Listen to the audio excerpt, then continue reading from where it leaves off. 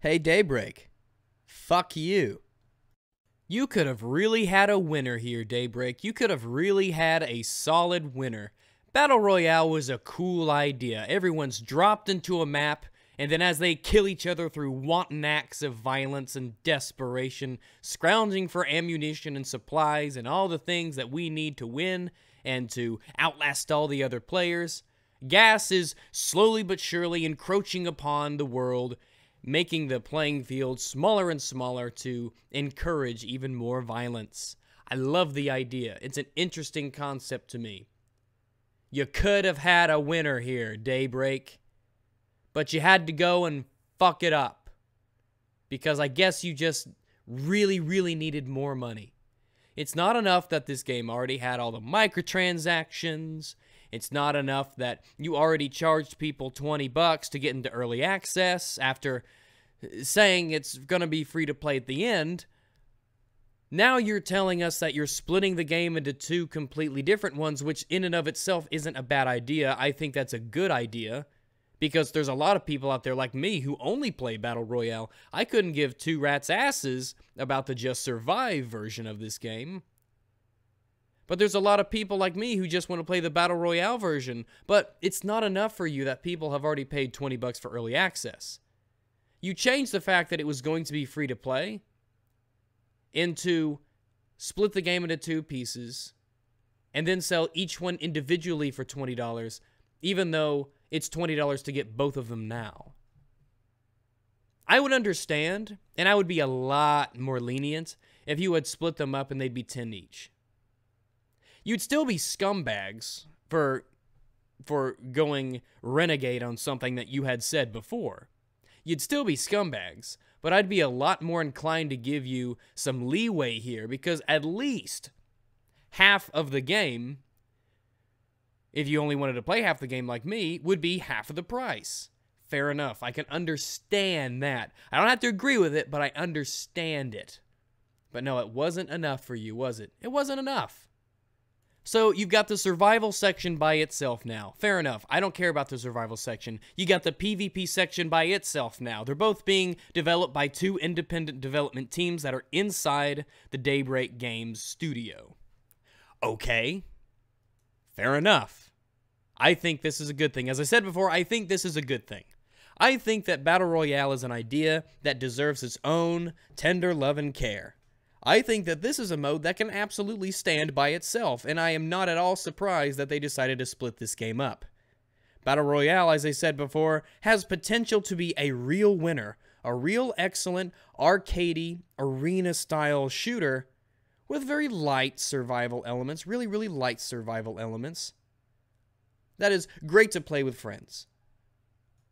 And hey, if you would have priced this at 10 bucks, this would be super solid. This is definitely worth 10 bucks. And with third person in it and with skins available and different things available, I can see how you could sustain yourself through skins and weapon camos and all that stuff. Fair enough. Microtransactions, I get it. You got to keep making money over time. I understand that. But you really fucked the pooch when you told us they'd be 20 bucks each. I you really fucked the pooch on that. You want you want to see something fun? You want to see something fun? Right now, go to the store page of this game on Steam. And I, and I know you're probably not going to be surprised with what you see. You're probably not going to be shocked when you go to the store page of this game on Steam and all of a sudden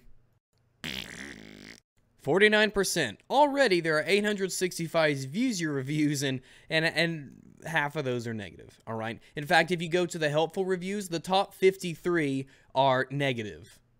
I'm not saying the 54th one was positive. I'm saying after 53, I think I had made my point and I stopped counting. So sure, half of the reviews may be positive.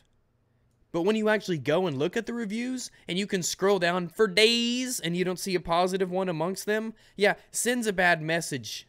Sends a bad message to people who haven't had this game. And of course, it's been stewing for a while. This has been in the news. If you type in H1Z1 on Google, and then, then you go to the news tab, all of the stories listed either have no comments or bad comments. Except for... Except for this one. Can't wait to play Battle Royale on my Xbox One. Gee, I wonder who could have wrote that. In any event, obviously this game is not exactly in gamers' good graces at the moment for obvious reasons. Obviously. In any event, this kind of leaves the people like me who enjoyed Battle Royale somewhat and were interested to see where it goes sort of in a pickle. I've already given them money, and I already have both of these products when they're released.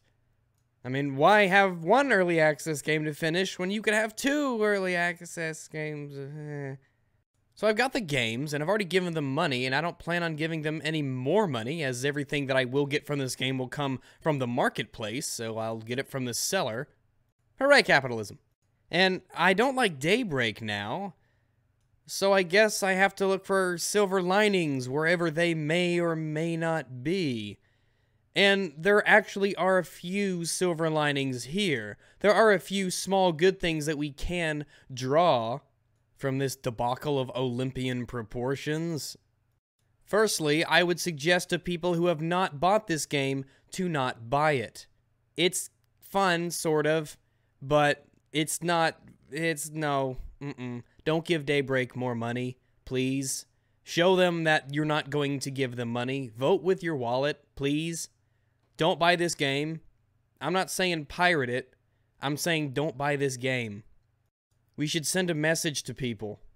We're PC gamers. We have the capacity to actually do that and get results. And perhaps to cheer you up a little bit more if you aren't already in the doom and gloom cloud of unhappiness, it turns out I found this article here from MobiPicker, I guess is what it is. H1Z1 get refunds on Steam regardless of playtime by Rahul. No last name necessary because your first name is Rahul. Like directed by Tarsem. He's 54, by the way. Anyway, this article says that they've actually been giving refunds for people who have played longer than two hours. There are conflicting reports, but I was thinking to myself, if this actually turns out to be true, that would be an awfully nice gesture from Daybreak that would legitimately make me hate them less. If we could get our money back whenever we wanted to, if they offered unconditional refunds, which would which would be the second time they offer refunds for this game. Remember when it first came out, the airdrop ticket things? That would be a hell of a start into getting back into everyone's good graces, mine included. If they offered unconditional refunds, I would instantly not hate them anymore, because then we would be able to completely get back everything that we spent, which meant that there would be officially no harm done to our bottom line money wise, and we would have at least had the experience of playing their game. They would still have done shady things, but they would have given us the means to alleviate ourselves of any financial burden such shadiness would have caused. In this hypothetical scenario where they offer unconditional refunds, I can understand that that would take a lot of guts from a business financial perspective. Whether or not they will actually do that and gain that amount of respect from the player base, myself included, is yet to be seen. But that's not all that they should be doing right now.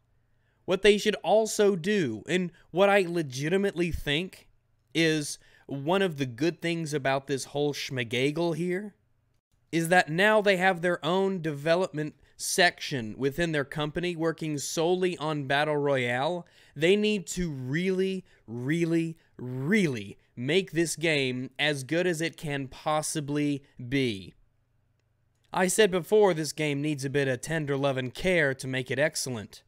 But if this development team in Daybreak takes Battle Royale, or King of the Kill as they are calling it, which is a stupid name, and make it not an alright game, not a nifty game, but an excellent shooter that's deep, that allows for a lot of customization, that has a very fair business model from this point out, then that would go a long, long way with me to show that they did not have just bad intentions in mind, or at least greedy intentions in mind. A lot of people, myself included, think that the main reason this was done was for purely financial reasons. because that kind of seems obvious and self evident at this point. But if this game mode legitimately came to be excellent because of this focus on it as an individual standalone release, okay, I'd be willing, okay, sure, then I'd be willing to believe them that this was a more of a creative decision. And one thing that is actually kind of pointing to the fact that this game will get a whole lot better is the fact that just one day after the split occurred, there actually was a fairly sizable update that was released on February the 18th right off the bat. So obviously they had this in the works for a while, but they were very, very quick to make sure that there was at least something new to be released with King of the... Ugh, with Battle Royale Plus. Also, I found this article on GameSpot where they were talking about this breakup. Apparently, Daybreak had an interview with GameSpot, or vice versa, or whatever. And during that interview, from the Daybreak Chief Publishing Officer Laura Na- Navi- Navia, Na- Laura, who, according to GameSpot in their words, she explained that it became clear to Daybreak from their own observations and player feedback that people were largely playing the game in two distinct ways Battle Royale versus Open World. So it made sense to split them up in an effort to better serve both audiences which I would totally believe if they didn't charge separate fees that were both equal to the amount that you got both of them for in one payment. Whatever. Anyway, quote, they have completely different communities that have different needs, desires, and wants, and we really want to be able to cater and grow the games to be able to nurture both of those players. Bases distinctly, she said. After a lot of the thought, we came to the conclusion that we should really split these games into two different products and the player community had actually asked us to do that. And you know what? I believe her when she says that the community asked for it. I'll believe her when she says that because I can see nothing but benefits from splitting Battle Royale away from the survival section because a lot of people didn't even play the survival section and giving it its own team. I see the immense benefits of doing that. However, I don't think there's a way in hell the community also said, charge us 20 bucks for both. Especially after you originally said it would be free to play, and then you said we could pay to get early access, and you already have all the microtransactions in the game, which thankfully are only vanity based. But there is no way we ask for that. So, you can try and turn this on us, Laura, but, um, fuck you. Seriously fuck you for trying to put this on us. Fuck you for attempting to make this into an issue that we created. Fuck you for trying to spin this around and say it's our fault. Because I know what you're trying to do. You're trying to play the PR gal. You're trying to somehow insinuate subtly that this is just what we asked for. Fuck you, Laura. But I've already told you how you can make it up to us. But oh, Battle Royale, Battle Royale. H1Z1, H1Z1. You sure have had your fair share of controversy. And, oh man, I wouldn't be surprised if later on we just got something else. Daybreak announces respawn tickets, so you can respawn and play the game again after you die, now only 25 cents each. What's that? You ran out of bullets in the middle of your Battle Royale session? Don't worry, with free ammunition tickets you can purchase for 25 cents for a pack of 50, you can get bull. Hmm. I'm just saying, I just get this feeling like this isn't the last of the controversy we'll have with H1Z1. I just get this feeling that they're going to try to pull some more shit. So, yeah, there you go. Those are my thoughts. Here's some old ass footage. Have you opened any of your crates? No, I, I, haven't even really found out how. I didn't look though, but well, you have you have to do it from like in game, like